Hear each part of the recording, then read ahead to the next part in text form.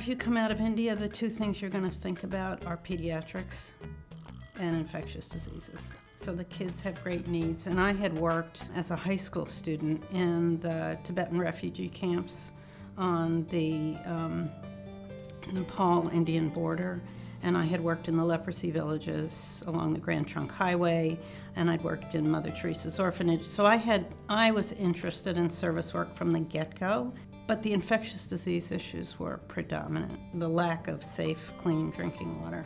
I am out there giving lectures in Vietnam or in China or in Burma or other places. At the same time, I'm talking to colleagues internationally about hosting our students and our residents.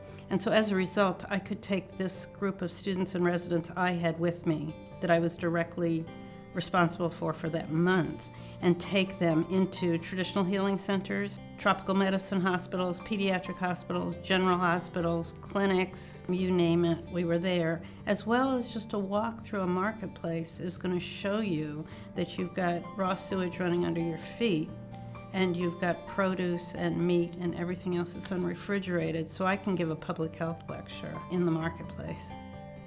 They're changed by it. Many of them come because they're first generation South Asians or they're first generation Vietnamese in this country by background. Many of them came from war torn places themselves or their parents did. Others are just, you know, plain old Americans who really want to make a difference in the world. What I would like to leave behind is 100% of our students have either international training or training that is out of their usual. So they could be in inner city New York in a clinic, or they could be at a Navajo reservation out in the West, but somewhere where their own comfort zone is uncomfortable.